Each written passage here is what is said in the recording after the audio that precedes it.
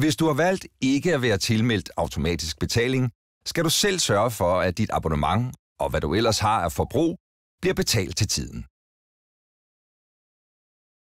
Prisen for dit abonnement betales forud den første i hver måned. Hvad du ellers har af forbrug, det kan være udlandstelefoni, busbilletter eller sms-afstemninger, betales løbende. Vi i Telmor synes, at det skal være smart og enkelt at være kunde hos os. Derfor sender vi dig ikke en regning. I stedet har vi givet dig en Telmore-konto, og det er her, vi trækker pengene.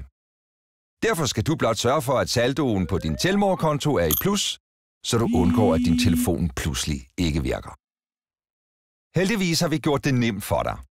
Under menupunktet Betaling på Mit Telmor tanker du din Telmor-konto op ved at indtaste beløb og trykke på Tank op.